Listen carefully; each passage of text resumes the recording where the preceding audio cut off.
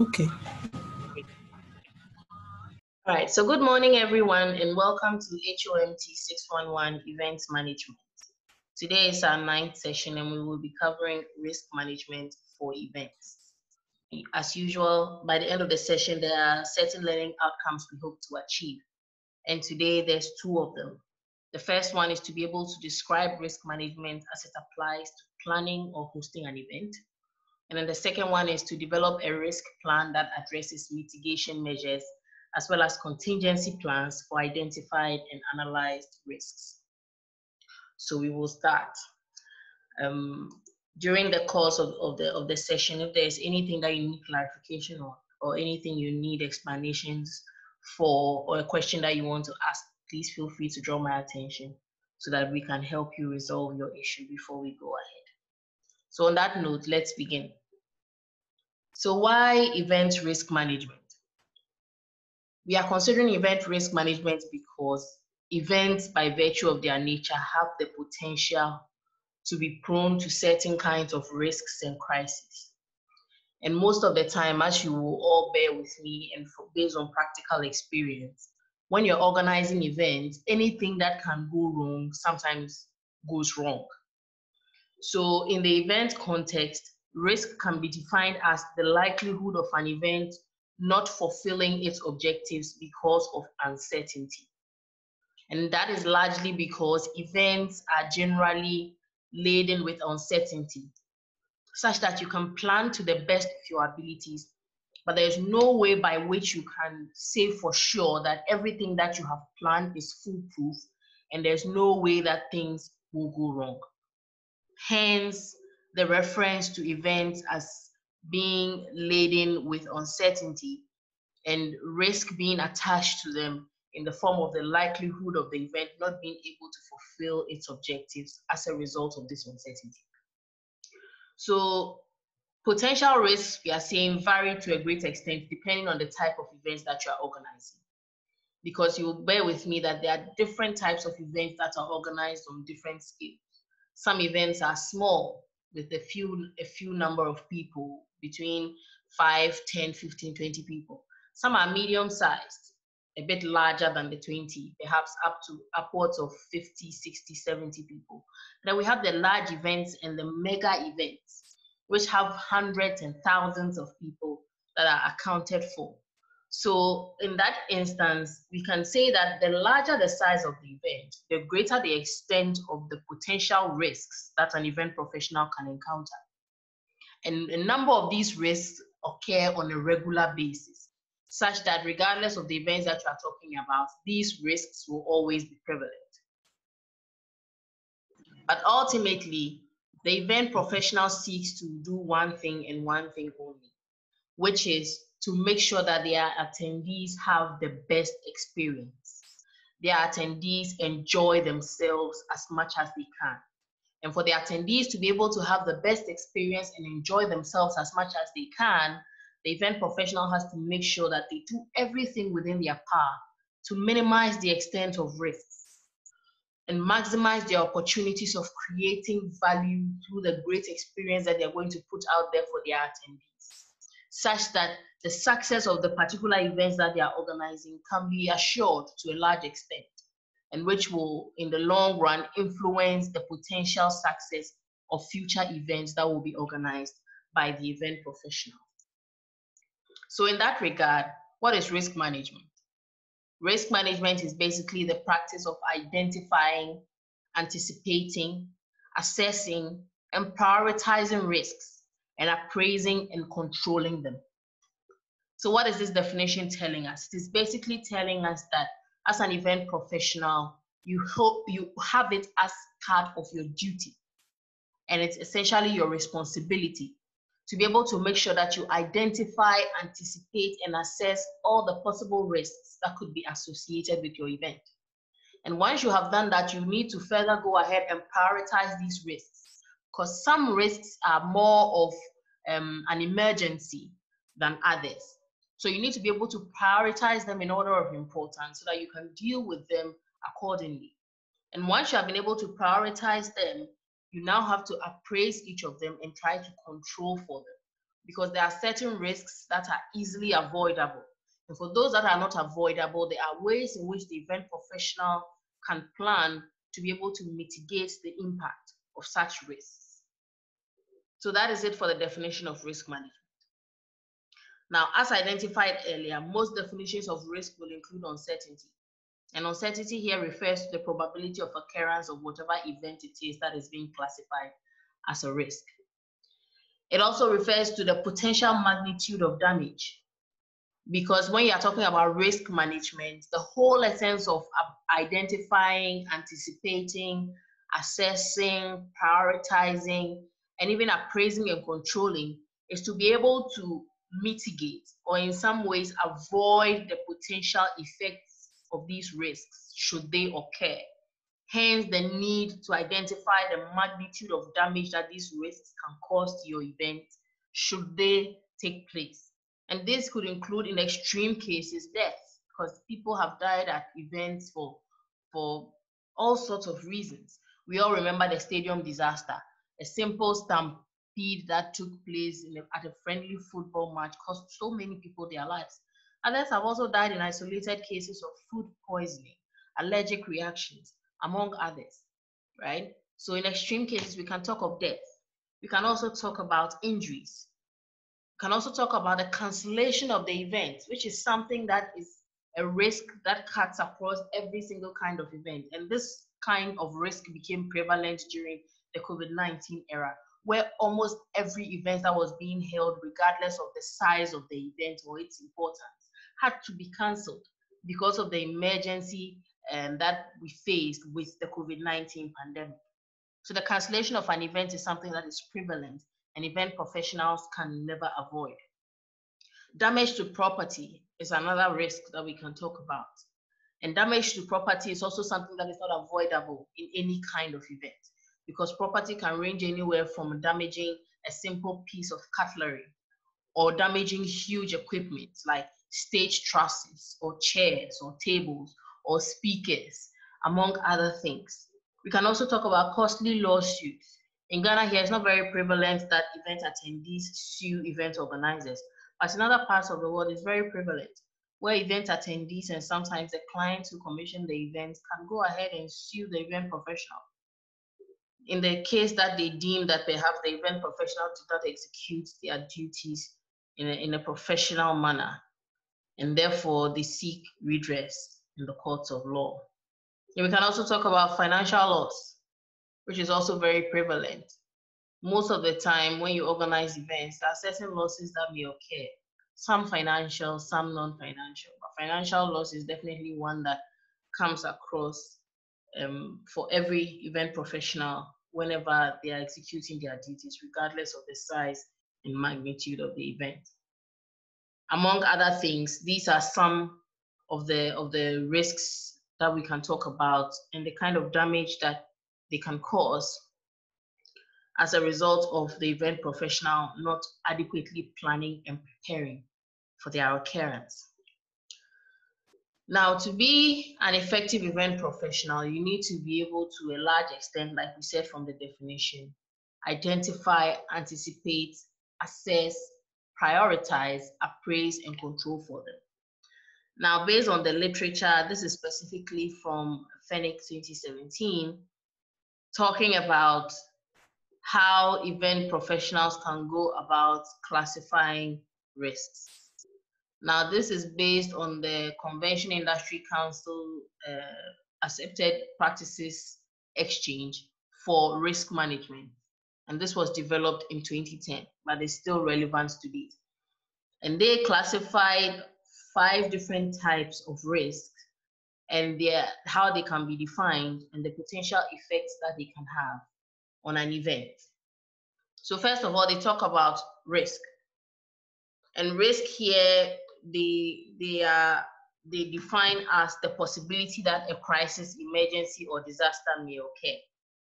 So when we talk about risk, like I said, depending on the magnitude of the event and the level of damage it can cause, you have to be able to think about it in terms of these five criteria because some events that take place while an event professional is executing their duties are less on the magnitude of damage, uh, are less on the on the scale of the likelihood of, of damage that they can cause than others. Some events that take place while you're planning um, a particular event or occasion can cause a higher level of damage than others. And these events have been, these uh, classifications have been done taking what we just explained into account. So a risk is on the lower um, end of the spectrum where it does not cause as much damage as say an emergency would, which is on the more extreme part of the spectrum. So we start from the lower end of the spectrum and we work our way up. And on the lowest end, we have what we call risk, which is the possibility that a crisis, emergency, or disaster may occur. So an example of this is where they are explaining that risk is not the crisis, emergency, or disaster itself. It is only the possibility that it may occur. So that means that at the risk level, the thing hasn't happened yet, but there's a likelihood that it can happen. And if it happens, it could either re result in a crisis, an emergency, or disaster, and could probably affect business continuity. So risk is the lowest end of the spectrum that has the lowest likelihood to cause any damage because it has not occurred yet and it, we are only considering the possibility of it occurring and what it could do should it occur. Now, a step above risk is business continuity. And this is the process whereby an entity keeps on delivering products and services for its clients and perpetuates its viability before, during, and after a disaster or crisis.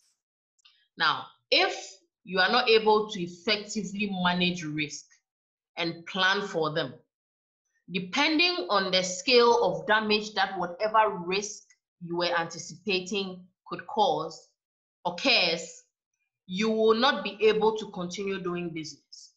Because if it is a high magnitude level of damage like death or injury, it has a permanent effect on your reputation as an event professional, as well as all possible events that you are likely to plan in the future. So in that case, it could either halt for a period or completely stop your ability as an event professional to deliver products and services to your clients and stakeholders into the foreseeable future. So an example of this could be, for instance, if four people die in a freak tent collapse at your event, and several people file lawsuits of negligence and wrongful death, all implicating the event professional in what has happened.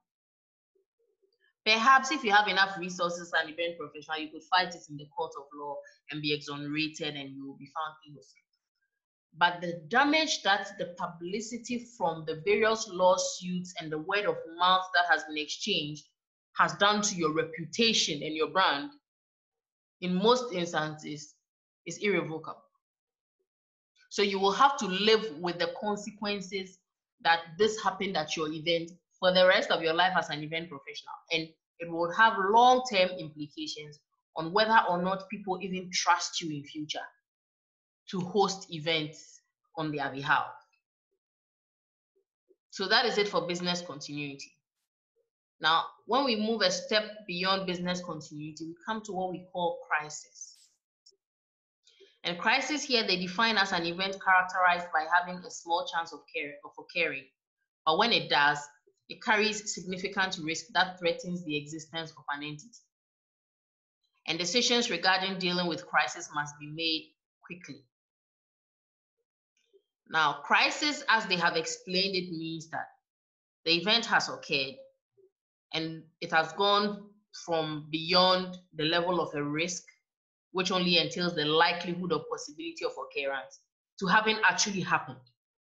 However, because of the nature and the magnitude of damage that it caused, it is not very high on the spectrum of events that could have lasting permanent damage to the reputation of the event professional. So the event professional has to act quickly to resolve such risks when they occur so that they do not spiral out of control and have lasting effects on business continuity. Hence, the, the um, fact that decisions regarding crisis have to be made quickly. Because it is with these kinds of, of actions that the event professional takes, the speed and the efficiency with which they handle the situation, that determines their level of professionalism and how they will be able to move on subsequently to continue to host the event and perhaps recover and achieve the objectives of the event. A crisis, for example, could be a, a, tornado striking the hotel where you are having a meeting or you are hosting an event. And perhaps there are several in serious injuries, the power is out, and traditional communications are temporarily disabled. How would you act in such a crisis? This question goes to you. A tornado has struck. Say perhaps it's not in Ghana here. We don't we don't experience tornadoes. So let's say an earth tremor has struck the hotel where you're having your event. Several people are injured. The power is out. Your communication is out. You can't call anybody. People can't really see where they are going. What do you do as an event professional in such an instance to be able to wrestle this crisis and to get it under control? Doc. Yes, Mercedes. I think first of all, you would have to tell the people to calm down. Awesome. Yes, I think when such things happen, the first thing is uh, I think we need to be told that everything will be okay. The Good. Is there We'll be a bit. I mean, we'll be scared, all right, but we know that at least there's some kind of hope. Good. So I think that's the first thing I would do anyway. Good. Yeah. Good. And it's the most excellent thing to do because technically, when people are panicking, you can't get them to to do um, to do anything because in the panic they are being ruled by their fear. So the first thing to do would be to get them to calm down. So excellent point, Mercedes. So after they calm down, what next? You tell them to calm down, everything will be okay. What do you do next? Well, because of the traditional communication channels being temporarily disabled, if it's a hotel, I'm hoping that there may be some kind of, um, should I say, first aid, um, should I say, facility that um, we can, I can go to them so that at least they can come in to see those who are injured, and then from there, hopefully, maybe if we are lucky, we may be able to get maybe some access to the phone, as in the phone may we may get some kind of connection, and then we'd have to make a call to the nearest um, uh, call the ambulance to to come in. You you go to first aid first, but you you have just told them to calm down. How you even know those who are injured? Does it make sense? Yes, yes, I, I, I, get so, it once you get so them, you would have to calm down. You would have to find out those who. I mean, what what's what happened to them? Good. Is everyone yeah, okay? Yeah. Everyone, okay. Mm-hmm. If you are injured, move towards perhaps a, a, particular so that you can be able to isolate those who are injured from those who are not. Sure. And then once you know those who are injured, then you can come in with your emergency services and give them the first aid.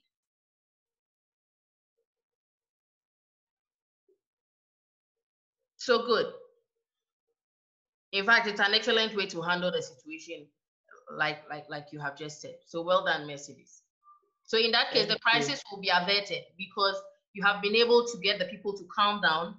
You have been able to isolate those who are injured. So once those who are injured are taken care of, those who are not injured, you can be able to help them find a safe place to perhaps hang out until they can all leave the place to their various um, places of origin or destinations or they can just um, calm down until they are all okay.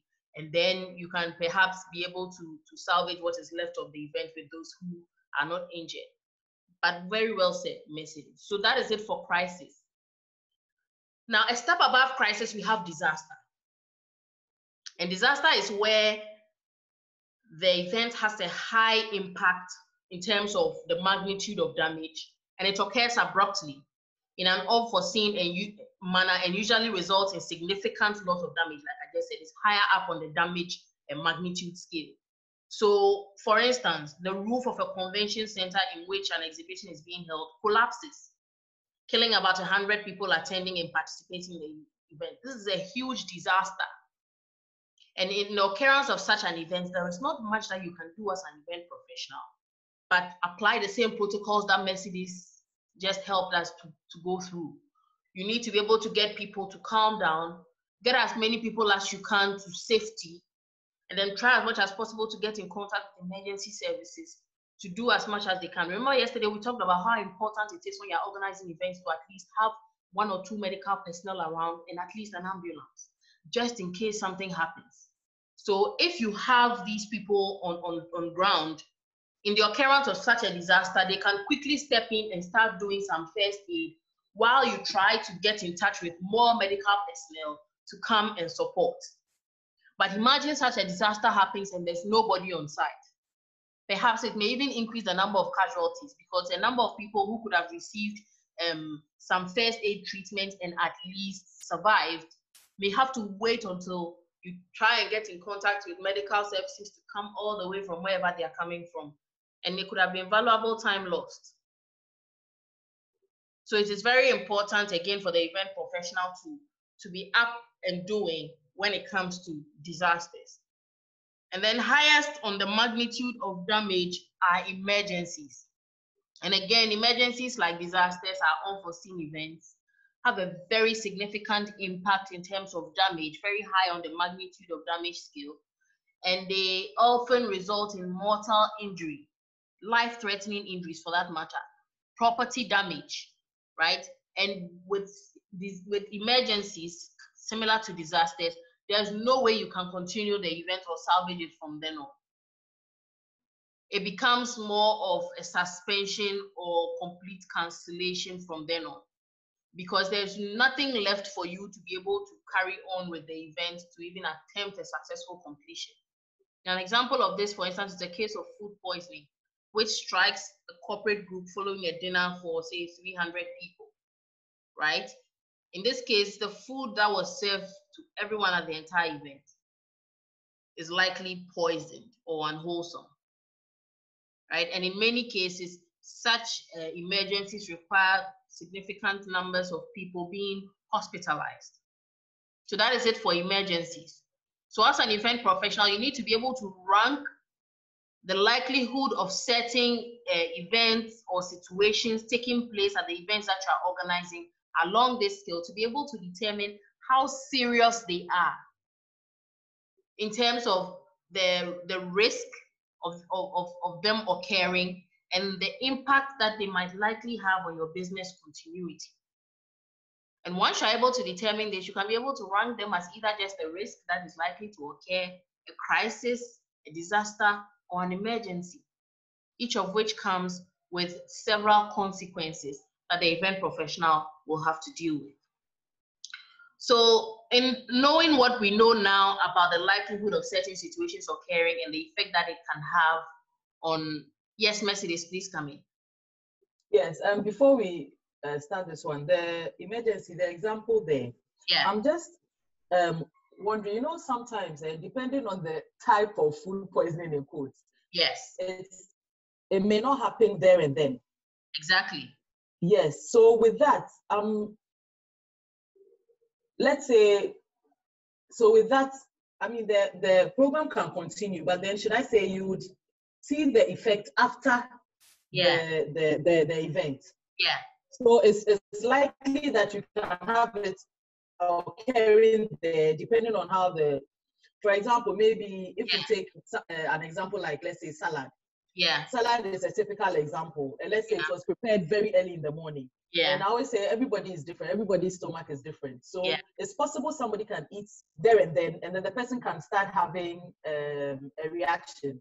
Yeah. It's possible too that some may eat and their reaction would come, um, should I say, after the event. Yeah. So I'm just wondering, is it possible that you can have cases like that? Yes. So it's an emergency, all right, but it, it will not Mm-hmm. That's why we said in the beginning, you see the part about business continuity. Yes. That's why yes. we said in the beginning that mm-hmm. the risk could affect the continuity of your business either before, later, during, or mm-hmm. after.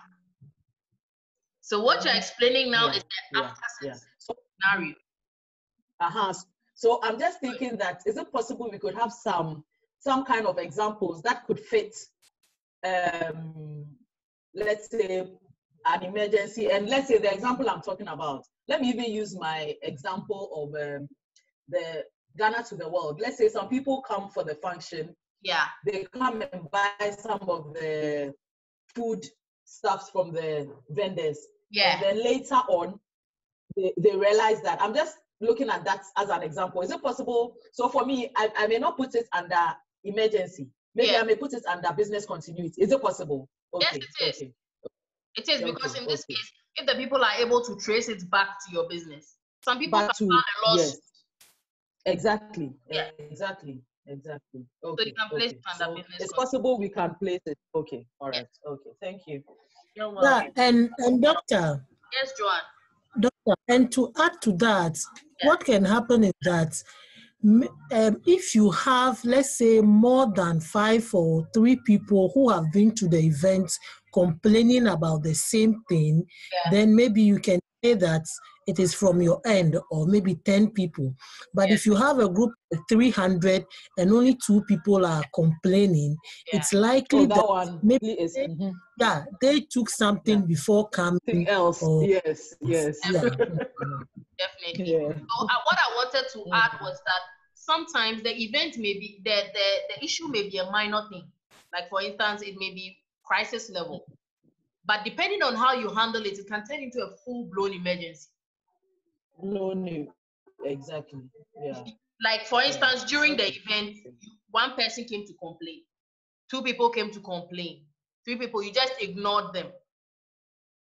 Then you don't hear anything again. Then after the event, you get larger numbers coming in. That in itself can cause a whole problem. Because assuming during the event you listen to those two, three people, and you actually did a bit of investigation to see if there was some substance to the allegation, you may have been able to avert those other people who later on came after to complain when everything had ended. Please, does it make sense? Yes, please. Definitely. Mm. So you have to be very sensitive to some of these things. So, which means, Doc, from what you've just explained, Yeah. if it all depends on how best we are able to manage the the the let me use risk Exactly. in um in the event because if you're able to manage it well, something that is um, let's say a crisis can Yeah. maintain like be maintained as a crisis. If you don't manage it well, it can turn into like disaster or emergency. Exactly. Okay. Exactly. All right. Okay. All right. Okay. Thank you. You're welcome. Okay. So knowing what we know now, what are some of the benefits of risk management? We can talk about two main ones when it comes to the event professional and the execution of their duties.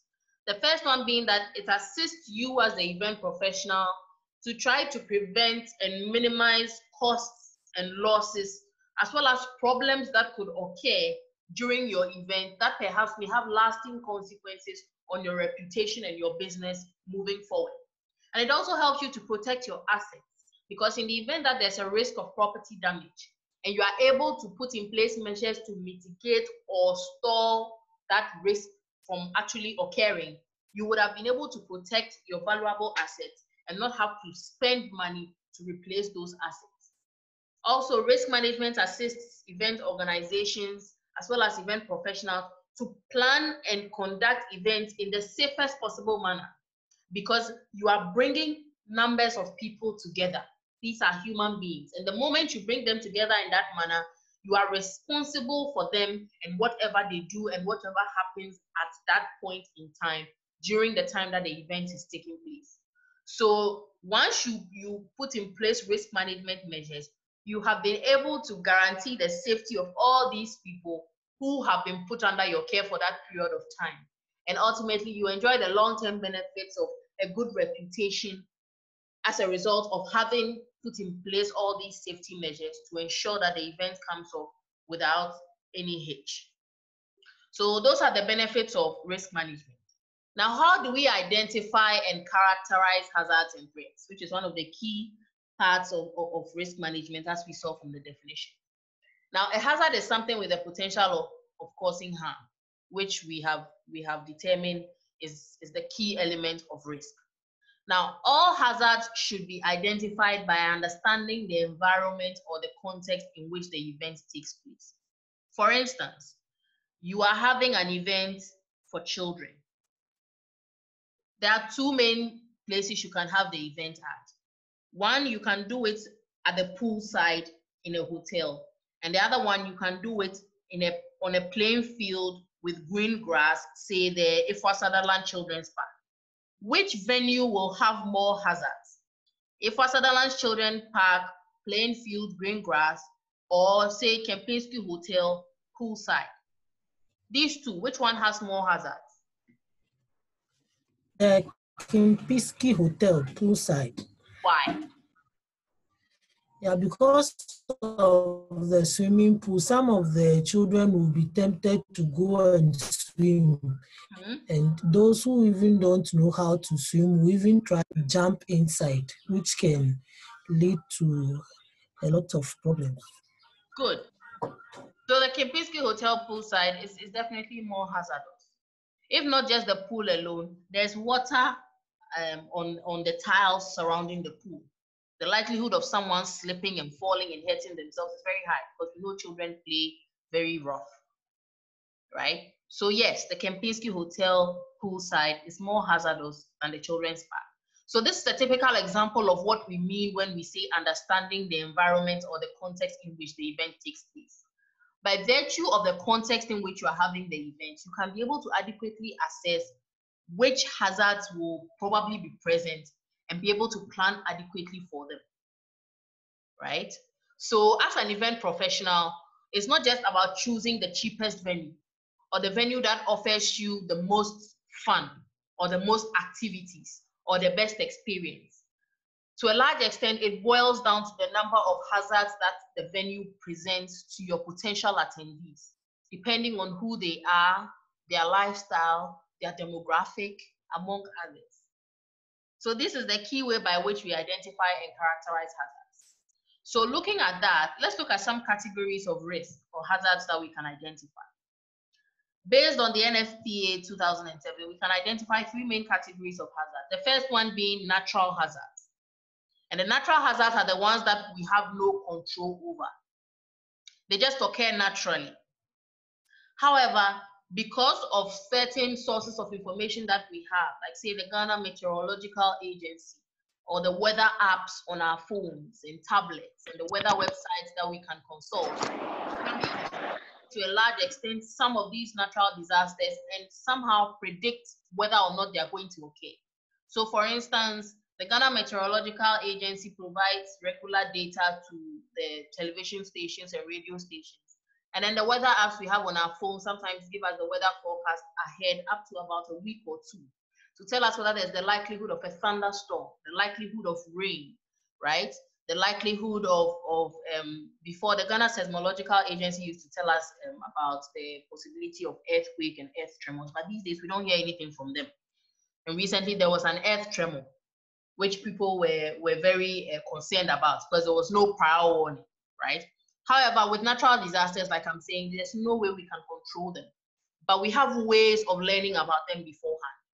So as event professional, you need to, as an event professional, you need to use the resources you have at your disposal to be able to see if you can determine the likelihood of any of these um, natural disasters occurring during the time you're organizing your event, prior to it, or after to be able to see if there's any potential risk you have to um, prepare for. And examples of these natural disasters include hurricanes, tornadoes, which we do not have in our part of the world, earthquakes we rarely experience in Ghana, apart from the few tremors here and there from time to time. Brush fires, we rarely experience them in Ghana. Mudslides, snow, we don't experience them in Ghana. Rainfall, we do experience and we know about Ghana's perennial, floods. Right now, they become annual floods because every year the floods occur around the same time May, June, July. And there's always loss of life and loss of property So these are disasters that occur on natural level that we know will happen in our part of the world, namely rain, perhaps occasional earth tremor. We have rarely had heat waves in our part of the world. I think we are we are used to hot weather. Occasionally the weather gets too hot, but we are used to it. So the main ones we can say we experience here is the rain, the thunderstorms, and then the occasional earth tremors. So these are examples of natural disasters as, as an event professional. You can try to put in place certain measures to mitigate should they occur because you can't stop them from occurring, but you can be able to mitigate their effects should they occur. Then we have the human caused risks, which are prevalent in almost every event. For example, we can talk about assault. You can never tell where a fight will break out because you are dealing with humans. And humans are very complex individuals. You can't fully understand them. So you never know what could be a source of discord or disagreement between two people that could erupt in a fight at your event. And I've seen people fight at some of the most classy places. So assault is something that as an event professional, you always have to prepare for, regardless of the kind of events that you are planning. Another human caused um, risk that could occur is a presenter no-show. I've also been to events where the MC that was booked in advance somehow did not show up, or one of the speakers could not show up for whatever reason. So as an event professional, you always need to have contingency plans to make sure that such um, human errors relating to no-shows you can be able to recover from. Then other errors may, other risks may include slander, libel, and defamation, right? In the events that you have, you have certain attendees that are speaking ill of your events that you organize as an event professional. Perhaps they came to your event and two or three people had food poisoning perhaps it wasn't your fault or the fault of the food that you served at the event or the caterer that, that catered for your event. It's something totally isolated and unrelated. But people at the event who know these individuals will start going around speaking negatively about your event planning business and your, and your event planning skills just because three people attending your event in an isolated case got food poisoning. So that's an example of slander, libel, and defamation. And again, as an event professional, there are ways by which you can protect yourself from this. Some event professional will often issue a press release distancing themselves from whatever is going on and reassuring people that they had nothing to do with it, among other things. There are so many ways by which you can handle um, this sort of human caused risk. We can also talk about copyright infringement. This um, sometimes is, is rare when it comes to event um, organizing. Copyright infringement often comes in when you are dealing with issues of the creative arts. So perhaps as an event professional, you organize a music concert or you organized um, a, an art exhibition or a convention. And then maybe you were playing some music that um, you were not allowed to play, or perhaps people were performing at your event and using music of people and not clearly acknowledging them. These are all forms of copyright infringement that perhaps may affect the, the activities of, of an event professional in executing their duties. Another serious risk that occurs at events, and it occurs at every single event that I know of, is theft. Regardless of the size of the event, some kind of thievery usually occurs, be it a birthday party, um, a wedding, a funeral, um, an engagement, a concert, a meeting, a conference, regardless of the scale of event, thievery is always um, a potential threat or risk. So security is very important when it comes to event organizing. Another final one we can talk about is entertainer cancellation. You can have entertainers that you have lined up for events cancelled. And there are so many reasons why this occurs. So like I said, with regards to the no-show, you have to be able to have a contingency plan. What is your backup? in case your entertainer does not show up, or in case your MC does not show up, or in case one of your speakers does not show up, you need to have a contingency plan to be able to deal with it. And then next, we can talk about technological risks. And these days, because of the nature of events and organizing and planning, there's a lot of technological innovations that have been introduced into the era. So you have to be able to have a fair idea of the level of risk that you as an event professional stand to, to um, encounter when it comes to applying all these technological innovations in organizing your event. For instance, there's a conference app that you are using to keep track of your attendees, to do their registration and everything. And on the morning of, of, of the event, the app crashes. What is your backup? You should be able to have backup measures put in place to perhaps do a manual registration because the application that will help you do the manual, the, the, um, the electronic registration is down. There's nothing you can do about it. So you need to put in place contingency measures. Assuming you have an event and there's a power outage, one of we saw in one of our, our classmates templates um, in our last session that they made provision for a standby generator, which is very important because power outage is something that in recent times is not very common, but previously was very common in our in our country, where the lights could just out of the blue go off for no reason. So to be able to to um, mitigate the effect of a power outage and its influence on the success of your event, you have to be able to have an alternate power source. And the standby generator is a good one to ensure that once the power goes out, you quickly switch to that and the, and the show goes on. In the event that you're also using a computer, like I just mentioned with regard to the registration app and all that, it could crash. And when it crashes, you have to make sure that you have manual means on standby that you can use to quickly continue the process so that there are no breaks in the service delivery as regards the event uh, execution process. You could also lose data or misuse your data, right? When you are gathering the, the information of event attendees, especially at meetings and conferences, there's a likelihood that the data that you are gathering could be stored on, say, an external hard drive, on a laptop, or whichever technological device you're storing it on. There's a likelihood that you may lose the data. So these days, technologically, we have a fail-safe measure that we use by storing a lot of the information in the cloud. So that in the event that whatever device you are using to store the data crashes, the moment you get to another device and you are able to connect it to the internet, you can just download all the data back from the cloud. The very popular one that we all use these days is Dropbox. How many of you have heard of Dropbox?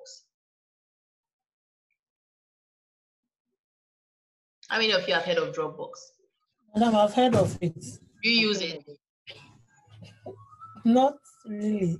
You don't use it. Mercedes, do you use it? Um, we use a similar thing in the office, but not the name is not Dropbox, but similar to Dropbox.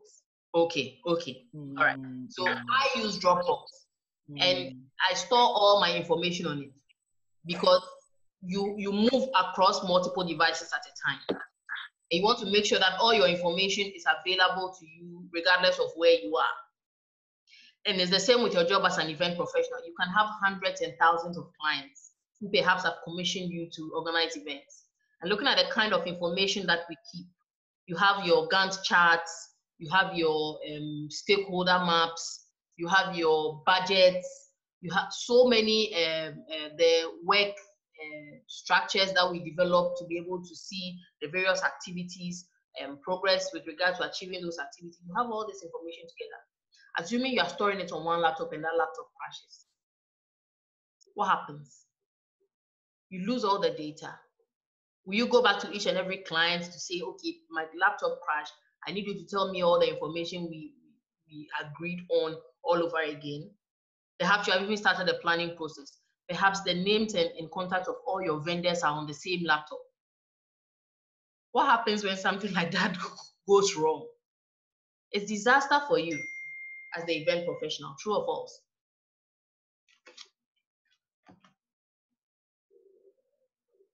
Very true. Good. So as an event professional, you need to have a good backup. And the best backup you can have is to keep it in the cloud. Once it is in the cloud, you know you can access it at any time and at any place, regardless of what happens. So even if your laptop crashes, your phone crashes, whatever, you can quickly download all the data back again. And what we just explained is directly linked to communication loss as well. Because once you lose the contact details of all your clients and your vendors, how do you get it back? To be able to find and communicate with them. Right? So you have to be able to put in place measures to mitigate the effects of technological risks. And then finally, audiovisual problems. I know for a fact that uh, there are for every five events I have been to, two out of three have audiovisual problems. I spend like five or six percent of the time at the event listening to hello, testing mic one, two, one, two. Hello, can you hear me? The speaker working. This who has experienced that thing before. Madam, I have. Every single event, almost every single event, you you will see that thing happening. And I ask myself that when the people were not here, when the attendees had not started coming, didn't you test these things? Hey, madam, some of these things you can finish testing and just before the program starts because they are electronics, they can go down again. So you have to continue until the program is finished. Exactly, but still, it's, it's very irritating when guests are sitting there. You are not trying to solve audiovisual problems, but hey, you're right. It's another risk that can occur, and it can occur before, during, uh, before or during the event, right? So that's another um, item on the list of technological issues that may come up that the event professional has to has to prepare for. So that is it for the risk categories. Now, in terms of the different categories, we can put them into specific areas to consider. Given that we have natural, human cause, and technological risk categories, these uh, categories have different areas under them, right? So for instance, when we talk about environmental risk or act of God, what category would they fall under? Environmental risk or act of God, what category will we place them under? Natural. Under natural. Good. So here we need to analyze the physical location and the site where we are having the event. What are the conditions there in terms of nature, especially when you are having an outdoor event? In Ghana here, what are the two main natural disasters that I mentioned we could we could we could expect? I mentioned the rain and the heat. No, there's another one. The rain, yes, the heat rarely, because like I mentioned, we we someone somehow become accustomed to the heat. But there was another one, which we experienced recently in some parts of Accra. Yeah. Earth tremor. Earth tremor, exactly. Exactly. So you need to consider all these things as they relate to the environments that you're organizing your event in. So everything from bad weather to earthquakes or tremors, floods, lightning, storms, hurricanes, tornadoes, and avalanches, which we do not ex experience much in our part of the world, as well as other natural disasters, and chief above all, pollution. Remember, I kept insisting that our floor plan must always have a means of disposing of refuse or trash, because when we don't dispose properly of our refuse and trash, it leads to pollution. Right, so that is another important thing that we need to, to consider. Okay, so second area we can consider is fire. What category will we place fire under? What categories can we place fire under?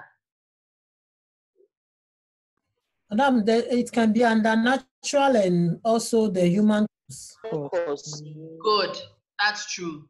So fire safety is a major task to be considered because fire can just erupt naturally out of nowhere or someone can, can out of human error start a fire or someone may intentionally come and set fire at your event, right? So apart from obvious threats and general fire precautions, you need to also think about electrically induced fires, which are not, sometimes may not be as a result of human error. They may also not be natural, or perhaps the technology itself is old, or perhaps the technology is faulty, and it can just out of nowhere spark spark fires. So that is it for the second area we, we can consider, which is fire. Now, the third area is health and safety risks, as well as the risk of alcohol and drugs. Where will we place this one? Health and safety, risk of alcohol and drugs.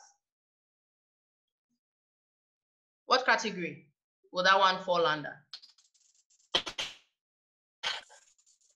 Madam, it will be under the human. the human cause. Exactly right? So for bigger events especially, we need to make sure that emergency medical services are available on site, like I emphasized in our last session.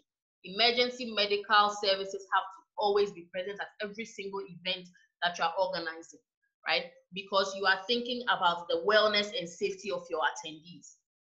And in considering that still under health and safety risks, we need to think about things like food safety, the quality and safety of the water that you're offering people to drink.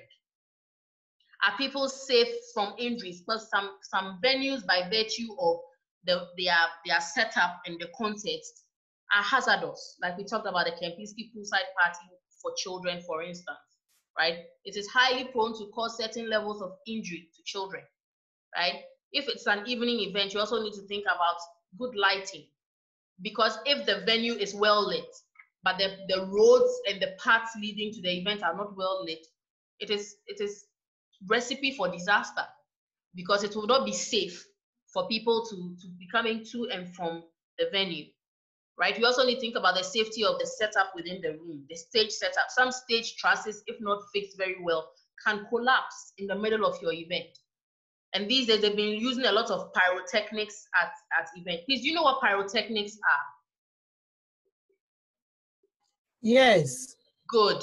The one they do at the wedding reception that um, sprays like fire and all of those oh. pyrotechnics. And they all present safety hazards because in the event that God forbid one of those sparks catches a fabric and it turns and it, it erupts into, into a fire, it could be a serious problem for, for you as as an event professional. And then we can talk about communicable diseases like COVID-19, among other diseases that are airborne human spread. So right now, as an event professional, when you're organizing an event, you need to think about social distance and COVID-19 protocols, such that we saw one of our, our, our, our colleagues introduced hand washing and hand sanitizing stations at the, at the venue of the events, just to make sure that they keep in, in line with the, the protocols for for ensuring safety in this era of COVID-19. As an event professional too, certain events are prone to um, alcohol and drug abuse. For instance, you find um, not popular in countries like Ghana, but in other parts of the world at concerts and, and at, at huge events, certain drug peddlers see it as an opportunity to come and sell different kinds of drugs to different attendees right? And then there's also the likelihood that people will consume alcohol, sometimes to dangerous levels at such events. So you need to make sure as an event professional, you put in place measures to pre prevent the consumption of these drugs that may be sold illicitly at this event, and also be able to help people control their alcohol consumption so that it does not end up causing problems and disaster for your event in the long run. So that is it for health and safety risks, alcohol and drugs. Now we can talk about human error in crowd management. And this one clearly falls into which category?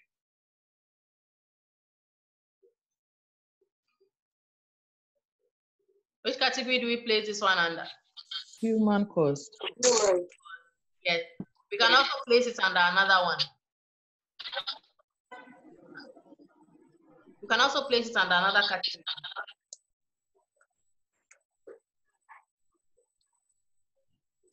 We had three categories. I think not. Natural. Apart from human, what other category? Natural. Are you sure? Technological. Technological. Sorry. Yeah, technological. Because the data loss could be as a result of perhaps um, uh, your assistant not properly shutting down the computer. Mm. Or your assistant innocently misplacing the hard drive that contains the right? So human error proves to be a frequent cause when we are talking about the types of risk to, be investigated. Right? We can also talk about the fact that crimes do happen. Like I said, thievery is very popular at events. And sometimes you can experience vandalism, especially when fights break out and people may get assaulted. Some people too may just be mischievous and just cause all kinds of problems at your event. We can also rule out acts of terrorism, which some time back became a huge threat in Ghana here because they received a lot of intelligence of probable terrorist acts that were being planned. Right? So you need to think about about about these things when you're an event professional. and put in place additional security, as well as cleanup costs and noise control, because in the event that vandalism takes place or a fight breaks out and tables are thrown all over the place, chairs are thrown, and things are spilled on the floor, you need to make sure that to ensure the safety of people, these things are cleaned up and cleared out of the way as quickly as possible.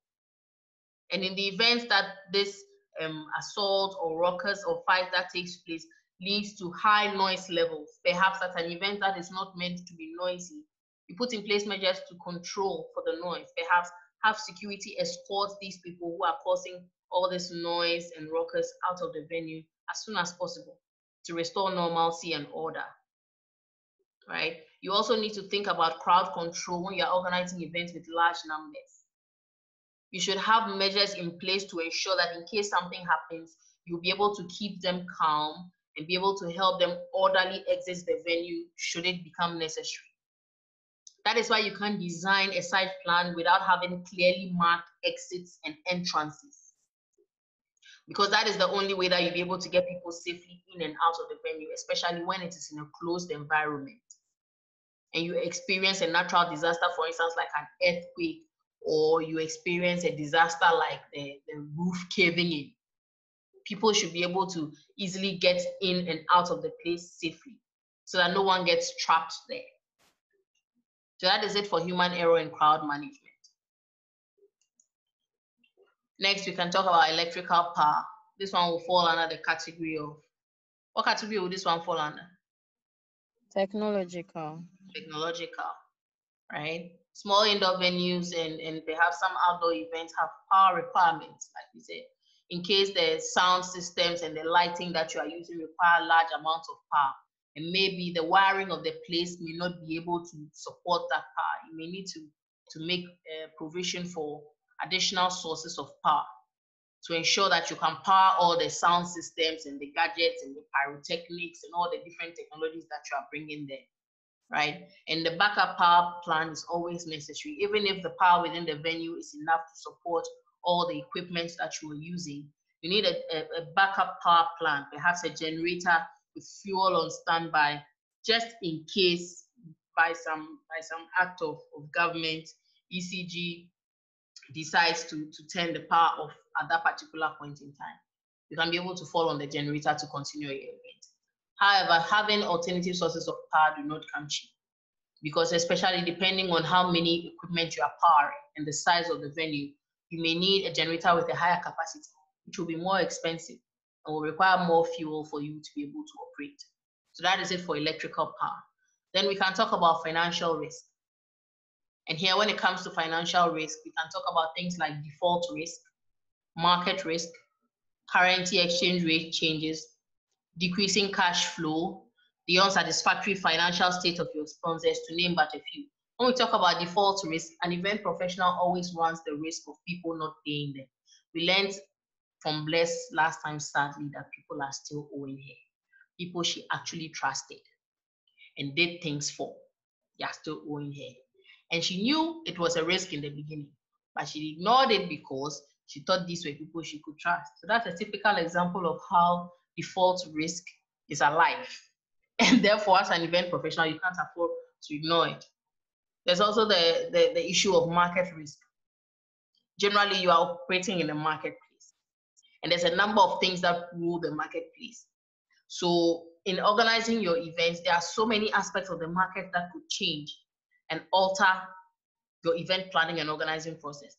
For instance, you have planned a certain budget perhaps if you were the caterer as well as the, the, the one providing beverages, as well as the one who is doing decoration, you have provided budgets for how much it's going to cost you to get table linens, centerpieces, food ingredients, among others. But perhaps market conditions change, and all of a sudden the prices of food items on all these table linens and items double.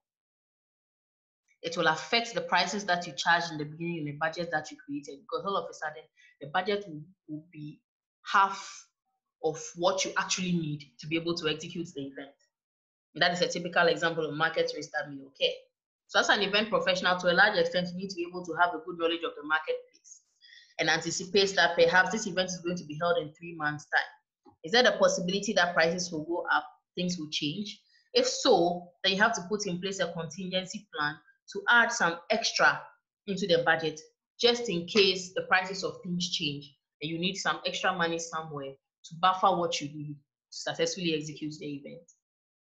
Currency exchange rate changes too can affect your, your activities as an event professional, especially where perhaps you are dealing with clients who are paying you in foreign currency, or you are dealing with clients who have requested certain items that you as the event professional perhaps have to import using foreign exchange rates. All these things could be influenced by currency exchange rates that may ultimately affect your executing your duties as an event professional.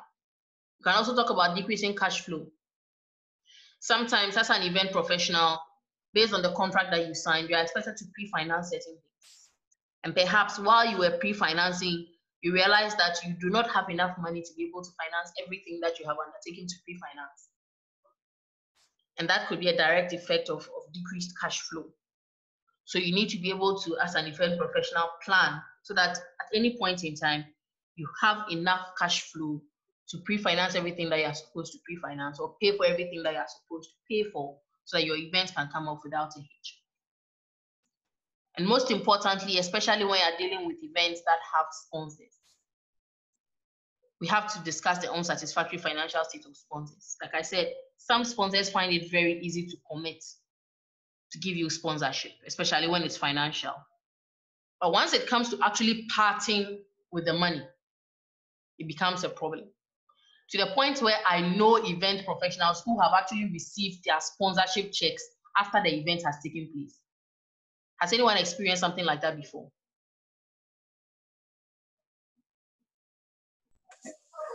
Yes, madam. Has anyone experienced something like that before? Okay, perhaps not. But in several instances, sponsors can do that to you. So perhaps if you were relying on the money that they had promised you, to use that money to organize the event, the money did not come till after the event, or perhaps the money did not come until the day of the event what would you do in that regard? Assuming you have not planned for that kind of risk. It means that the event might end up getting cancelled or postponed. So you need to really take this into consideration when you're planning as an event professional, right? And all these different kinds of financial risks, like I said, have the possibility to jeopardize the sound financial footing of your event organization. So it is very important that you pay close attention to financial risk, especially because you need that financial backing to be able to successfully organize the event. Mercedes, please come in. Um, please, so with the, I realized that we were given, um, identifying the categories that these um, risks fall under, but yes. for financial risk, uh, we didn't. Okay, so please, find out. Yeah, so what category? financial risk could be human caused. Mm, okay. I believe it's okay, human caused because okay. For instance, when we talk about um, things like default risk, it's a human thing. The human being either yeah. decides to pay or not to pay. Or not to pay, sure. The market risk is an interaction of various factors, including sometimes human intervention. Because when we talk about governmental factors, political factors, and regulatory factors, all these laws and, and, and, and are set by human beings, mm-hmm. okay. right? right? Currency exchange rates too as a result of human activity, economic activity and the sponsors too, they are humans. The MD may, may have approved for the check to be paid, but the accountant is sitting on the check. True or false? Very true. so that is a typical example of human related issues. so thank you, Mercedes, for drawing our attention to that. Okay, thank you. All right, the next thing we can talk about is risk to your communication system. And what category will we place this one under? Technology. Okay, technology, yes. And there's another. Human cause. Good. Because voice communication can be endangered by perhaps the network breaking down, which may be a technological thing, through no fault of yours, the network operator may, may have their lines down, and because of that, you can't make a call. But there are also human factors where I remember at a point in the University of Ghana to be able to stop students from receiving calls during lectures and disrupting lectures. They put scramblers in all the lecture halls. So when you enter a lecture hall, the scramblers scramble all the cell signals within that radius. So you will not be able to receive any phone call or send any any message or anything. Does anyone know about these scramblers? Or this is the first time you are hearing of them? Yes, the first time I'm My hearing. first time I'm hearing it. Okay, so there's there scramblers. They scramble cell signals. So it, it, it will block your access at that particular point in time within a given radius, depending on how wide the reach of, of the scrambler is. And we had to do that at that point in time because the students were being very disrespectful. They'll come to class and instead of paying attention, they'll be browsing. So that is an example of how a human being can actually interfere with communication, right? But walkie-talkies, for instance, do not rely on, those kinds of networks. They use a different kind of frequency to communicate. So even when the, the cell networks are down, with walkie-talkies, you can still communicate with each other. So you need to make sure that as a, an event professional, you have some walkie-talkies or radio sets available that can communicate uh, effectively in the absence of, of mobile phone networks. Right, so that's it for risk to communication system. Then reputation risks, which most of the time affects business continuity. Here, where can we place reputation risks? Reputation risks. What category? Madam, under human cause. Exactly. Because adverse media coverage, the media are, are, are human beings, they are journalists. So if they put a story out there about you, it can either be positive and build your business and reputation as an event professional, or negative and destroy your reputation as an event professional. Allegations of safety deficiencies as well could pose a significant threat to your reputation as an event professional in your event organizing business. So if people come to your event and they go back and say, I had food poisoning, um, I was I was robbed, my car was broken into. These are all allegations of safety deficiencies that to a large extent can affect your reputation as an event professional. So you have to make sure that you put in place the necessary measures to protect your reputation. And this reputation protection begins with adequate risk management measures. So as an event professional, you can't afford to take chances because one event, however insignificant in your eyes, could be the source of your demise as an event professional.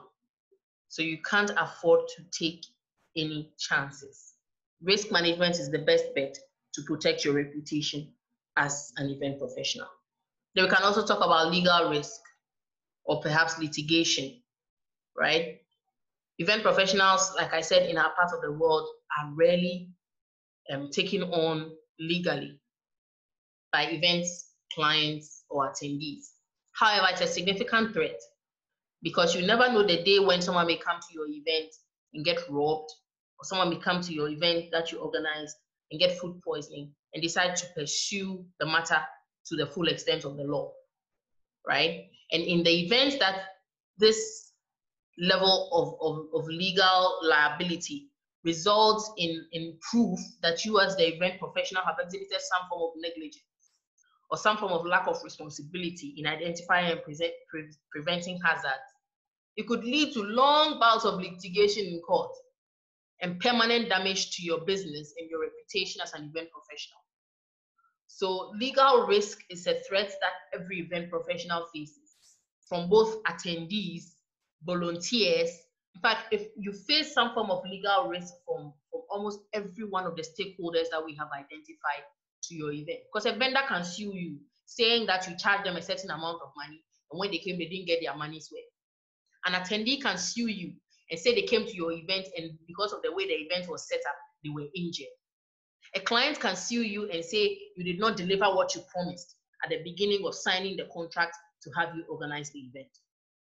So these are all ways by which the event professional faces some kind of legal risk, right? And in this case, what category will we place legal risk under based on the explanation that we have given? Legal risk. Where will we place legal risk, ladies? Human cost. Thank you.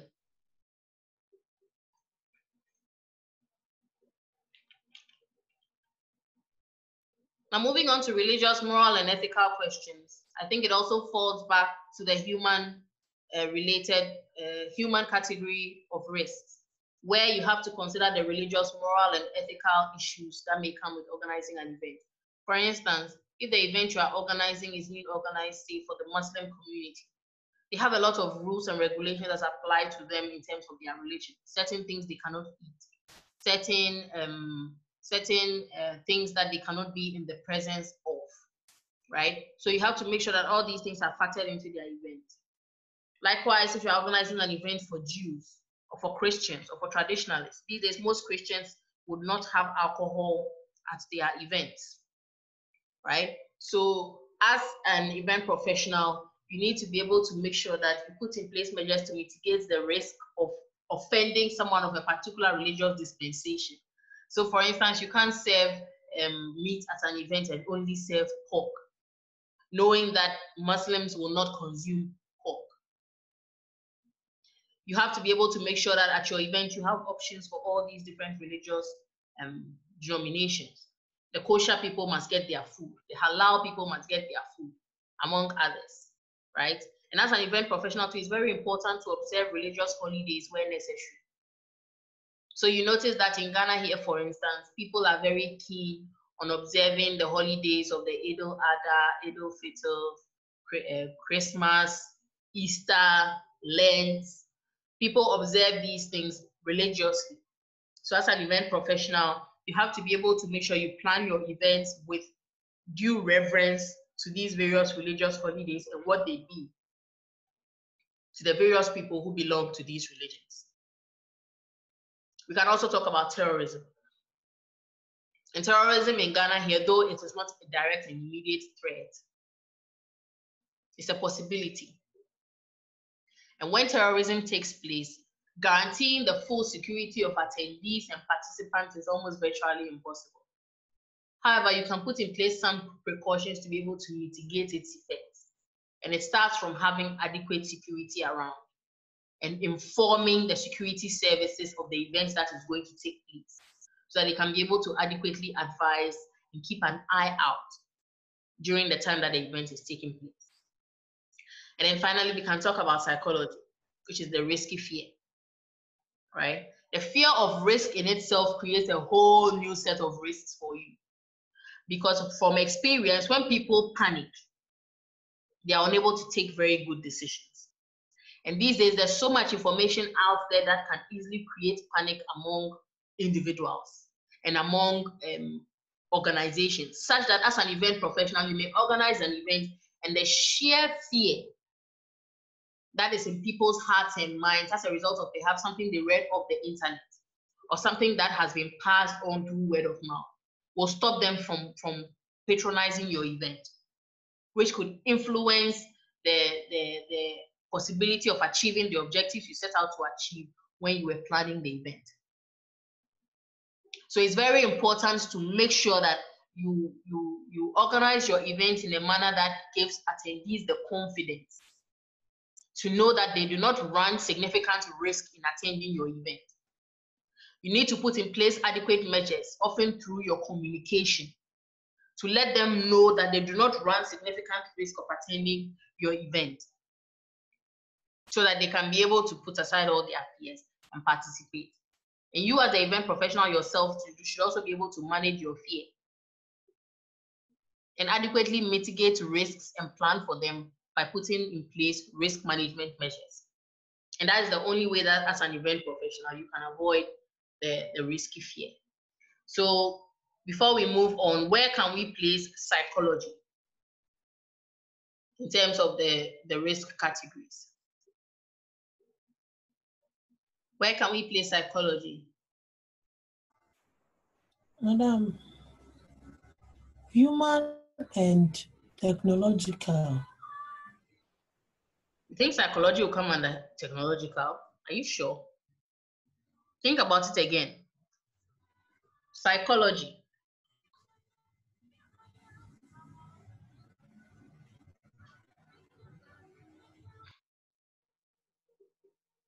I believe psychology is mainly human. John, do you agree? Yeah, because I was looking at the internet something, so I thought it will Oh, come okay. Internet is just a medium for information provision. But psychology is referring to what people do with that information. Okay. Aha. So the information could come from the internet, it could come from the TV, it could come from the radio. Right? But what does that information do to your mind? And how does it influence your perceptions of fear and risk? Okay. Good. I was thinking it's the two. Okay, thank you, madam. Welcome, John. So that is it for the various risk areas we can consider under the three categories that we discussed. So let's move on to talk about the event risk management process. Before we start, is there anything that someone needs clarification on or anything that you need an explanation on? Or we are good? Are we good? Yes, please, I'm fine. Okay. So let's move on to the event risk management process. So what is the event risk management process? It starts with, first of all, assessing the vulnerability of the event. Like we said in the definition of, of risk management, the risks need to be identified and they need to be analyzed and they need to be evaluated in terms of how probable they are to occur. And when you're looking at the probability of occurrence, you need to rate them on a scale of rarely likely to occur or very likely to occur. So once you're able to determine that, you can be able to move on to now look at the severity of the consequences should they occur. And these consequences can be ranked on a scale of insignificant to catastrophic.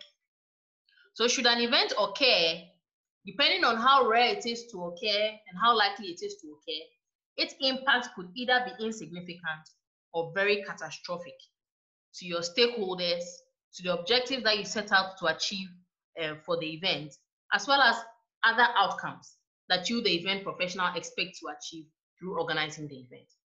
And to be able to assess the vulnerability of the event to potential risks, we use what we call the probability consequences analysis. So this is the probability consequences analysis framework. And it is designed in the form of a grid, but you can also put it on a graph with X and Y axis. On the Y axis, we have what we call the probability of occurrence. Remember, we said the probability of occurrence is rated from rare to likely, right? But here, they are using two main measures, being high probability and low probability. And then on the x-axis, we have consequences, which is rated on the, on, on the basis of low consequence and high consequence. Now, depending on the probability of the event occurring and the likely consequences that it would pose, be it high or low, we can be able to determine whether we can accept the uh, risk or we can manage it to not cause damage or we can completely avoid it. Now, when you are accepting, it means that there's nothing you can do about it. And you just allow it to happen, you deal with the consequences. When you can manage it, it means that there's something you can do about it. So you will manage it so that the consequences are not as severe as when you cannot do anything about it at all. And then where you can avoid it is where you, you the, the risk is such that you can put in place adequate measures to stop it from happening completely. So based on the grid we are seeing, we can see that if the event has a high probability of occurring, but it has low consequences, we can either accept it or manage it. But if it has low probability of, of occurring and low consequences, we just accept it as it is. Because even if it happens, it will not influence the event to any significant degree. However, if the event has a high probability of occurring and the consequences are high, we need to do our best to put in place measures to avoid it. Or if we can't avoid it, put in place measures to manage it so that the consequences are not so dire. But finally, if the event has a low probability of occurring, but the consequences are high, we need to do our best to make sure that we manage it so that it does not have severe consequences for us. Please, does it make sense? Yes, doctor. Yes, please. Okay. Now, once we have been able to assess the vulnerability of the event in terms of the probability of the risk occurring um, and the consequences that the risk will pose, and bear in mind that you are doing this for each of the identified possible risks that could pose a threat or hazard to your event. So once you have done this, you need to move on and perform the risk evaluation. Now, in the risk evaluation, you prepare what we call a risk assessment matrix. And this will help you to be able to clarify your thinking on the concrete risks that your event may face. Because in the beginning, remember, you identify the events based on probability and, and consequence. So once you have been able to determine some events that have a probability of occurring and potential consequences, you need to be able to rank them. And that is where the risk assessment matrix comes in. And once you're able to rank them, it gives you a clarification on how to be able to deal with the various risks. Because remember, we talked about the fact that certain risks are crisis level, some are disaster level, some are emergency level. And we can be able to tell whether they are crisis, disaster, or emergency based on the probability of occurring and the consequences that they pose. So once we, we have been able to, to determine the probability of occurring and the consequences, to be able to rank whether they are emergency, disaster, or crisis, we need to put them in the form of a risk assessment matrix. And this will give us a guideline of how to work to manage them or mitigate them, right? So we need to think of the interactions between the various hazard and risks, find out which ones we are going to accept based on the, the, the, the matrix that we have, find out which ones we are going to avoid, find out which ones we are going to manage, depending on whether they are an emergency, disaster, or crisis. So let's look at a typical example of a risk assessment matrix. Please, can we see the matrix on the screen? Yes, sir. Good. Yes, please. Here they are presenting four main risks that they have identified can event can affect the events that they are organizing. And you realize they have five categories, right? What are the categories that they have? They have what? Consequence, right? Yes, please. Probability, that's the probability of it occurring. The impact, should it occur? The trigger, which is very important because here they are saying that there are certain things that can trigger that risk to become perhaps a crisis, a disaster, or an emergency. And then they have potential what? Responses should that risk uh, factor occur. Do we see that? Yes, please. Good. So let's look at risk number one that they identified, and they are calling it inclement weather. And they are saying that the consequences of this inclement weather could be that attendance may be low. And that is true. In Ghana here, when it rains, people generally like to stay home. True or false? True. Good. Yes, true. True. And imagine you have invested a lot of money into this event. You will lose revenue. So they have as their second point, loss of revenue could be great. Because assuming you are expecting people, you are expecting people to attend and spend money for you to be able to recoup your investment, they will not come.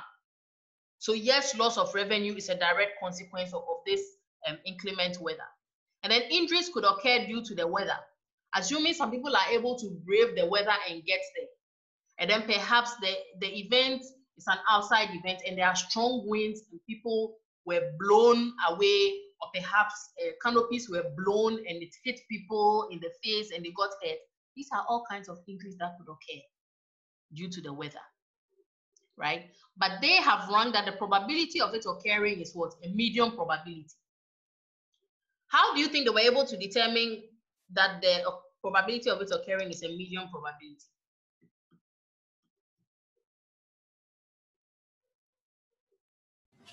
Or maybe they were considering the season. Good. Let's say In the raining season or, yeah. Good. Good.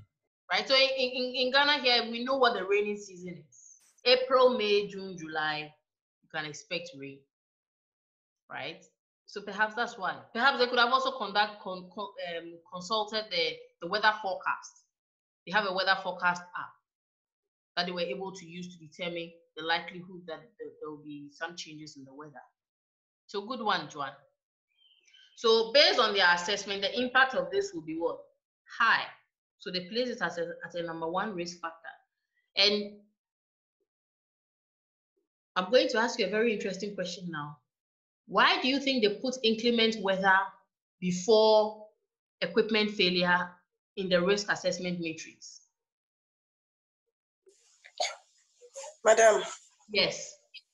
Because um, the equipment failure can be um, maybe 70 or 80% avoided, but the uh, weather is natural. Be good. Now, where does this one come from? It comes from where? The categories of risk, right? Yes, madam. Good. Where we talk about natural, human, and technological. So in this case, inclement weather is what category?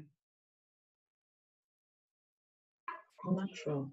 Natural. So we can't do anything about it. Mm -hmm. The equipment failure is more of what? Human. Human right? So yeah. that is why inclement weather was placed above equipment failure. So with inclement weather, they are saying that the trigger could be on the day of the event, a severe storm arrives just before or during the event. They can't do anything about it. It's an act of God, right? But the responses they could give is perhaps check checkweather.com, like I said. Use the, the app to, to check to see what they are saying about the weather. And then if it's going to be severe, put in place a, a contingency plan or they can mitigate it by providing rain raincoats umbrellas right and then they will say they said they will make an noun cements for any delays. Right? And then the banks will perform under covered pavilions and have taps for exposed equipment. So they are putting in place measures to even protect the equipment so that the rain will not damage them. Right? And then in the case that they decide to accept They'll carry on with the event as long as the safety of the people is not in jeopardy. So do you see, they have they have ranked it based on what we saw in the matrix. Do you remember this matrix? Do you see it? Yes, please. You see the three possible responses here. Accept, manage, or avoid. Do you see?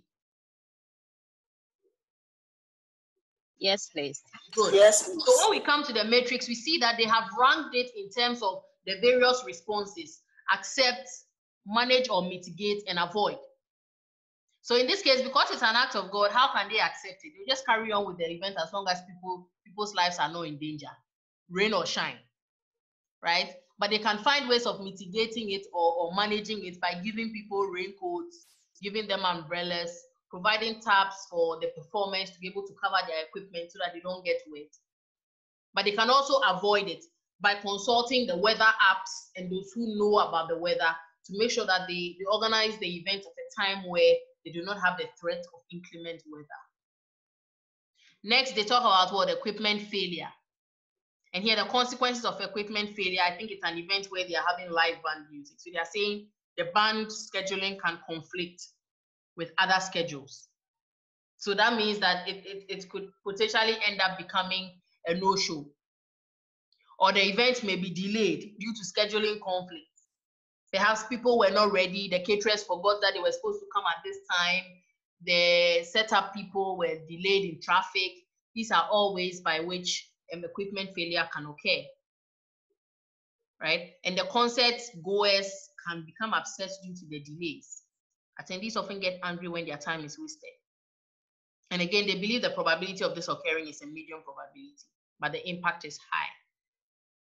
And this could be triggered during the band's setup equipment failure or if the show is delayed, like we said, for whatever reason. So again, the three levels of response that they can have, they can accept it and just move forward with the show and remove all unnecessary acts. So that means that if the band doesn't show up, they will accept it because in this case, they may have put in place a contingency plan to deal with it. So they'll go ahead without the band, right? Or they can mitigate it by perhaps repairing the equipment, assuming the equipment were damaged, which was causing the delay, or have or shorten the act times and remove any in-between acts to cut down on time. So that those who did not show up, they can just take them out of out of the um, the schedule for the day and just go ahead with those who are present. Or they can avoid it totally by renting backup equipment in case some gets damaged, having a backup band to be able to make sure that the, the band, uh, regardless of which band doesn't show up, they still have people to perform. And then have maintenance personnel perhaps, or backup um, event vendors. Should one fail to show up, the other one will be ready and on hand. But the more contingency measures you put in place and the nature of these measures, the more investment you have to make in terms of resources. Because you may have to spend more money to get all these backups or backups. This may be a challenge for the event um, professional. The third risk they identified is a lack of sponsors. And here the consequences of a lack of sponsors could be that perhaps in their mind the event could be cancelled or the project will implode altogether, right? Or in the event that some sponsors do not show up, they will be unable to find new sponsors for the event or perhaps sponsors for subsequent events in the future. And because the sponsors are not there, they may not have enough resources to be able to fund the event. However, they see the probability of this occurring as a low probability and the impact of it being a medium impact, right? And this could be triggered, according to them, by several sponsors backing out and sending the project into a panic due to lack of funding. So what are their responses? Again, on the three levels, they can either accept it and go ahead without funding from sponsors. But in that case, a lot of other things that they wanted to do with regards to the events that may have required additional funding, they may not be able to do it. Or they can mitigate it by putting in place measures such that if sponsors back out, they'll have new ones to replace them immediately. Or they'll actually put in place measures to avoid the lack of sponsors happening totally by committing all the sponsors who they bring on board to a written signed contract so that it will be very difficult for them to back out. And then the fourth and final risk that they identified is crowd control. And in this case, the event we, that they are organizing, as we have seen, is a concert. And when it comes to concerts, crowds can sometimes get out of hand, which is one of the consequences that they have stated. And like we mentioned, whenever there's a lot of people at a place, fights may ensue. People may start fighting for no reason, out of nowhere, right? And some of these fights may lead to injuries, sometimes for people who are not even directly involved in the fighting right? And it may anger some of the people who attended the event because they did not pay to come and watch people fight. They came for a particular experience. However, the event professionals have characterized this event as, as having a low probability of occurring. However, the impact could be high, right? And they have identified a strong trigger, which is one of the risk areas that we talked about, being alcohol and sometimes even drugs because some of these people engage in, in most of these fights out, out of the influence of these drugs and alcohol that they consume, sometimes prior to coming to the event or during the event. And it can lead them to become rowdy, which is the number one trigger that they have identified could, could cause the fight. So what are the responses that they can have? They, they once again refer back to the three response levels. They either accept it by having emergency services on hand, which are the EMTs, to deal with any injuries that may, may come about, right? And also have police and other security to deal with rowdy concert goers. Remember, we talked about the fact that security is necessary to be able to, to, to do um, efficient crowd management because at some point in time, they may have to escort some unruly or unwelcome people out of the premises of the event. The second level of response could be to mitigate it by having the police and the event security deal with the rowdy concert goers accordingly and escorting them off the premises, like I just said. Or you can avoid it by having the local police present in accordance to law and event security consistently patrolling. Sometimes the presence of security puts fear into people. and it makes them control themselves and behave better than they would have if security was not present. And that is why during the presentation of your site layout, I kept emphasizing that security and emergency services are non-negotiable. They have to be present at all times. Please, does it make sense? Yes, please. Good. Yes, please. Now, some organizations come out with their own risk assessment templates, especially when you're an event professional that you have a company and these are things that you engage in on a daily basis. So I want to show you three of such templates from um, different organizations so that you can appreciate what they would look like in case you are developing your own. So let's look at this. Please, can you see the screen? Yes, yes please. please. All right. So this one is an event uh, risk assessment template belonging to the Golden Plains Shire. It's a it's a town, and they have events regularly. So they saw the need to come up with this risk assessment template to help them to be able to assess the level of risk of each event and then adequately plan for it. So it starts with um, different explanations of, of the need for, for managing risks and then what risk assessment is, right? And then they also explain how to do risk assessment. And they say it involves finding the risk, right? So you list all the possible hazards and situations which we have discussed, assessing it, and then ways of fixing it. And remember, we talked about the fact that there are three ways of handling the risk when you identify it. Do you remember? Do you remember the three ways we talked about?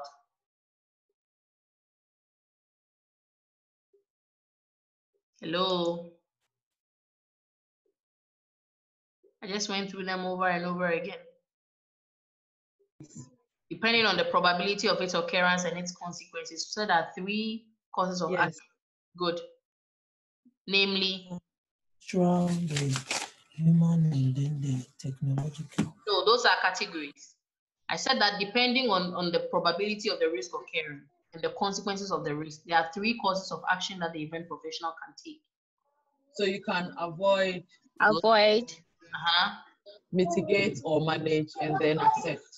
Awesome. Thank you very much. So that in essence is what they have categorized Finding it, assessing it, and fixing it. And fixing it involves the three ways that we have just uh, talked about. So in addition to this, they have created their risk ranking matrix, right? And they have done it on the basis of the the range that we, we, we mentioned earlier before we talked about the probability consequence analysis and they have looked at the likelihood of it occurring to the consequences, right? Similar to what we talked about in terms of probability consequence, but they have more levels of the breakdown.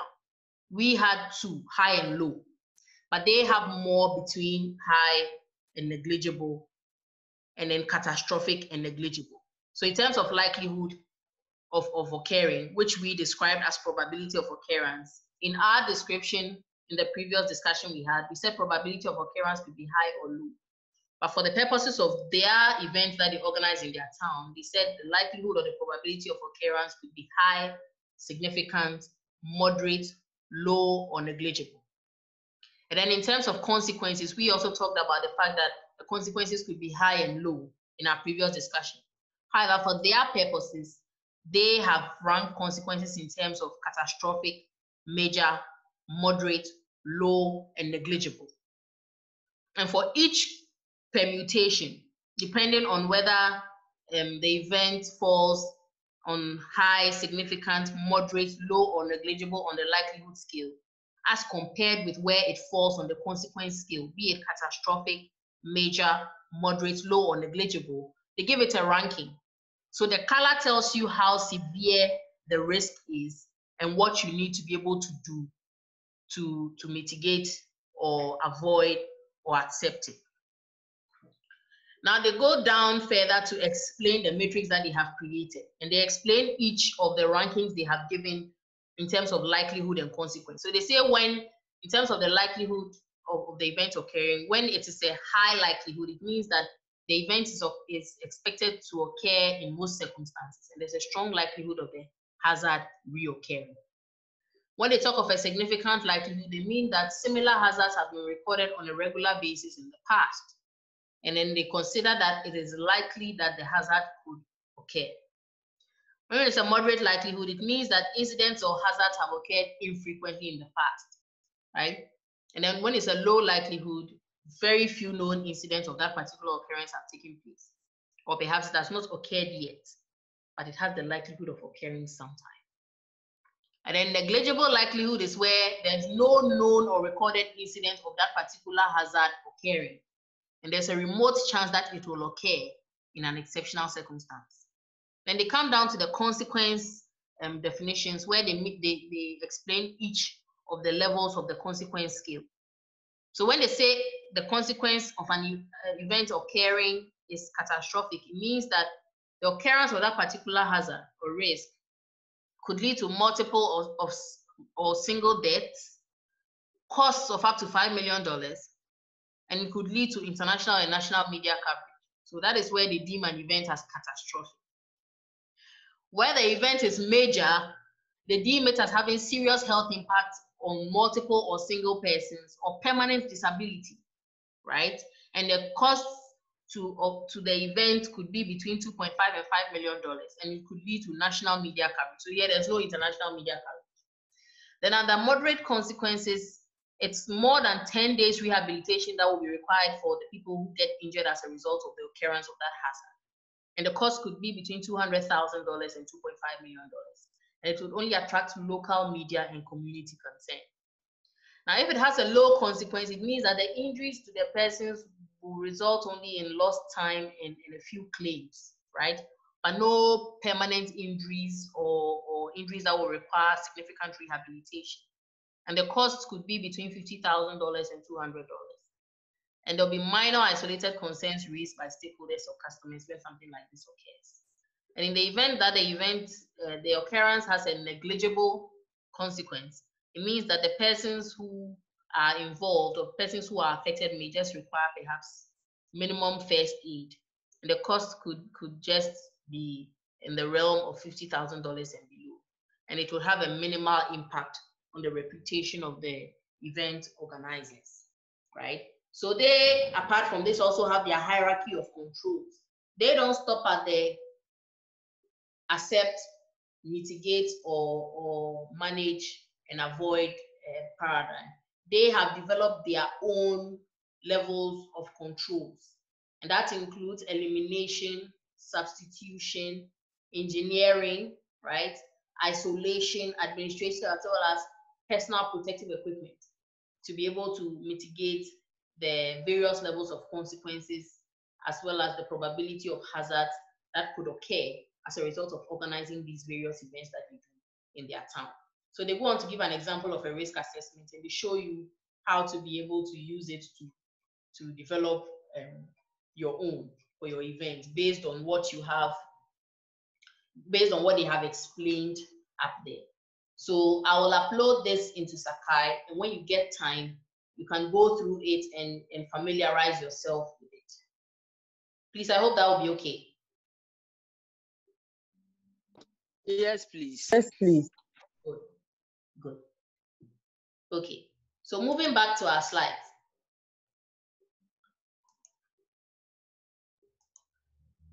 Now that we have been able to develop the risk assessment matrix and we've seen the kind of risks that we are in for, and we've been able to identify the possible consequences, triggers, and then the probable responses we can give to be able to control it, we need to implement the risk treatment and control measures.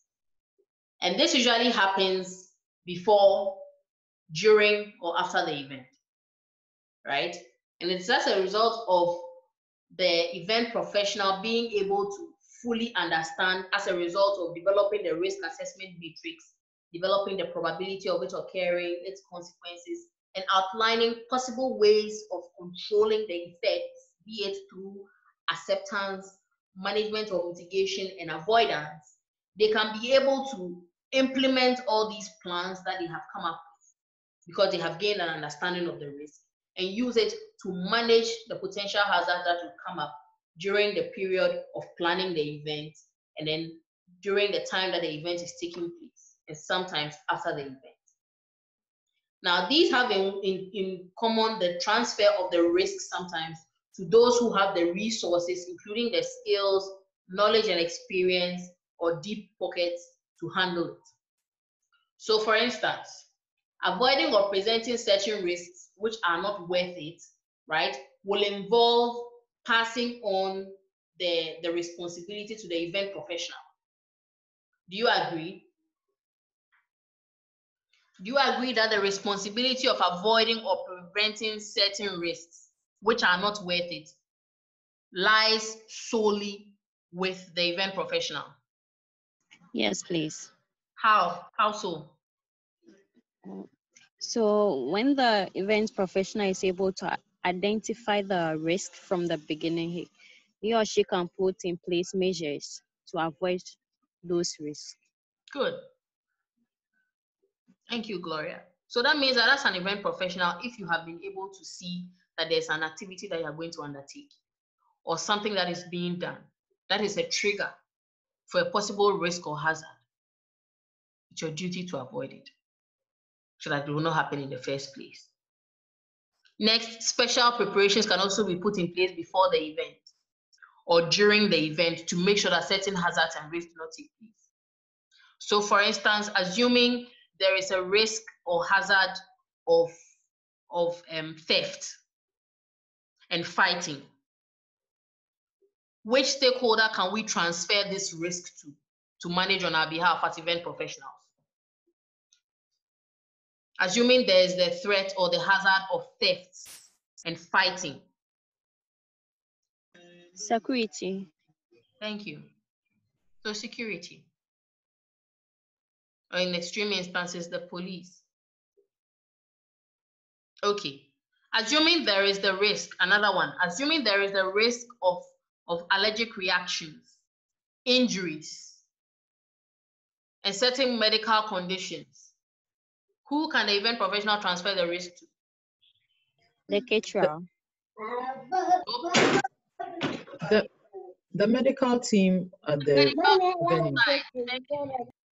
the medical team on site because they are the people who have the skills to be able to tend to injured people, be able to treat people with allergic reactions, be able to treat people with medical conditions. You, the event professional, do not have the skills or the knowledge to even attempt that, right? So those are a few examples of, of who to transfer specific risks to, given their skill sets, the knowledge that they have, and the experience that they have to be able to handle it. And by doing that, we are able to reduce the vulnerability of the event to all these different hazards. But in extreme cases where the hazards are such that you cannot really do much to mitigate them or avoid them, and there's so many of them that could lead to dire catastrophic consequences, canceling the event may just be the way to go. Or if you can avoid canceling it, and rather go for the lesser evil of changing specific aspects of the events that pose significant threats. Like, for instance, the venue. If the venue that you are using now exposes people to the hazard of the roof collapsing, then perhaps you should move it to a venue that does not have a roof, that is an open space. If it's a children's party that you are trying to have around the pool that exposes children to the hazard of drowning, Perhaps you should move it to a children's park where it's all grass and they can run around and play without the possibility of anyone getting drowned. So these are several ways by which as an event professional, you can implement risk treatment and control measures to ensure that the objectives of your event are successful. So like I said, based on the example that we just saw, there's a hierarchy of controls that you can go through. You can either go with the controls that are provided per the probability consequence matrix that shows as the three types of control measures you can put in place, be it accept, mitigate, or, or manage and avoid to be able to control the effects of certain hazards on your event. Or like these people have done, come up with their own hierarchy of controls should certain hazards occur during their event. And these include elimination, where they remove or stop the hazard if possible, or remove the cause or source of the hazard by eliminating, perhaps if it's a machine that will cause it, eliminating the machine, which will involve altering certain aspects of the event that we just talked about. right? And if it's not practical, perhaps canceling the whole event altogether until you can find a safer way to hold the event without causing hurt or damage. They also have as part of their control substitution. Can certain things that are posing hazards be substituted? For instance, like I mentioned earlier in the example, if you are having the children's party around the swimming pool and it poses a significant hazard, is it possible to move it to, the, to a venue that has not have a swimming pool? Or if there must be a pool for children to play, can you substitute it with an inflatable pool that is not so deep and not so dangerous such that children who fall into it or jump into it will drown? Please, does it make sense? Yes, yes, yes, please. Or you can solve it by engineering or changing the equipment.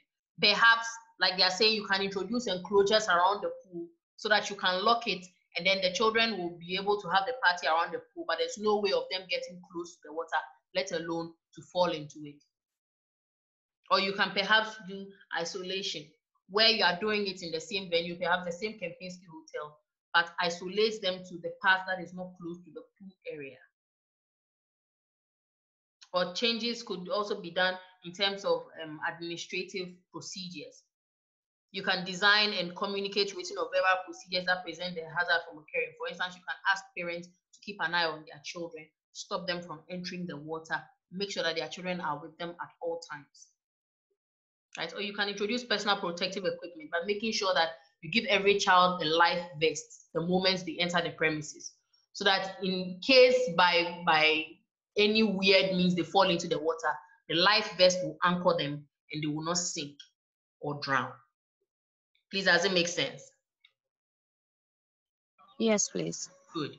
So these are various hierarchy of controls that as an event um, professional you can introduce. But the most important thing that as an event professional you need to do is to record event activity. Because without having a, an, an adequate log of past events, possible risks that have occurred, it will be very difficult for you to be able to rank events and the possible hazards that these events present in terms of their probability of occurring and their consequences. Because if you do not have a history or record of some of these events that you have organized and the hazards that happen, it will be very difficult for you to conceptualize or fathom the probability that some of these hazards can occur and the possible consequences that they can pose.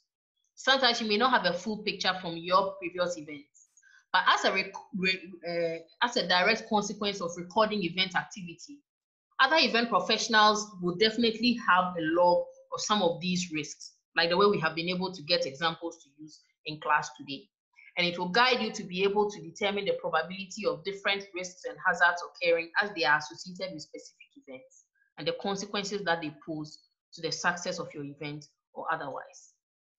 So when you are recording your event activity, you need to be able to put in place measures to record every single thing that was happening before, during, and after the event you need to be able to determine whether the risks that you identified before the event occurred.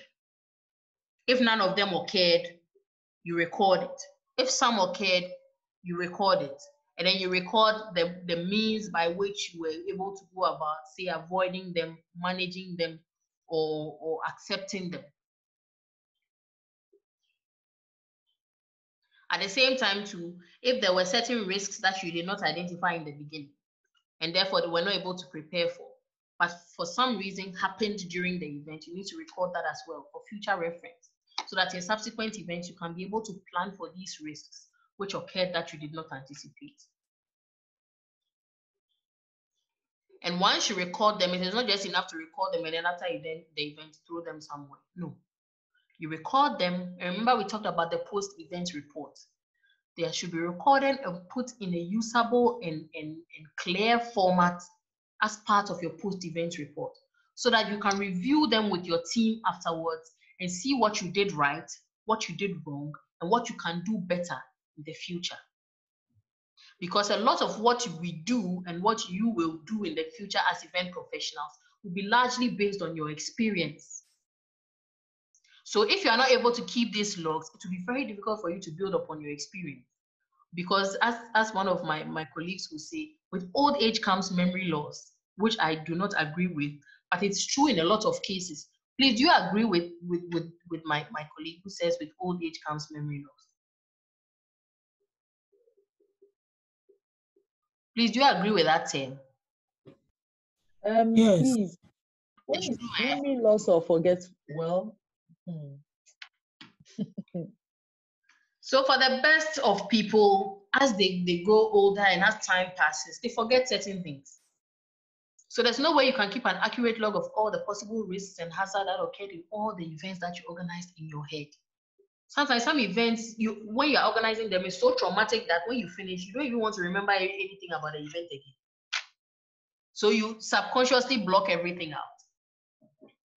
So this is the best opportunity for you to be able to keep an ac- accurate log, such that even if you are not the one running the business in future, perhaps you've handed it over to your child, or you've employed someone to take over the business and run it on your behalf, they will have an adequate log and record of all the previous events you've organized, possible risks and hazards that came up, and they can use that as a stepping stone to be able to plan and adequately prepare in terms of risk management for future events that you are going to be organizing.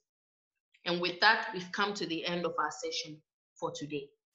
Does anyone have any question they want to ask? Anything they need clarification on before we sign off?